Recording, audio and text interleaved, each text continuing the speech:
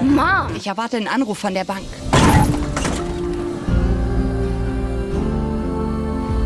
Bray Johnson. Miranda Wells. Adieu Selbstbeteiligung.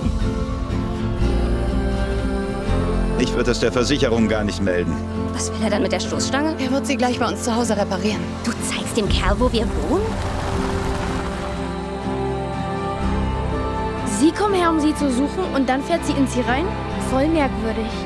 Recht? Gedanken haben eine Kraft, die man nicht sehen kann, die aber definitiv da ist. Also, ich denke jetzt intensiv an Pizza. Haben Sie das gemacht? Ich habe gar nichts gemacht. Man muss vorsichtig sein. Vielleicht verschont der Hurricane Louisiana. Ja, klar. Oh mein Gott. Alles, was einem widerfährt, kann sich irgendwie zum Guten wenden.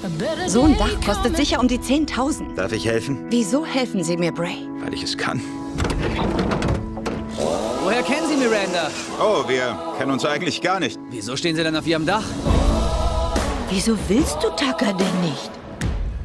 Weil sie ihn nicht liebt. Nicht so wie Dad. Alles, was dein Dad für dich wollte, war, dass du glücklich wirst. Woher willst du das wissen?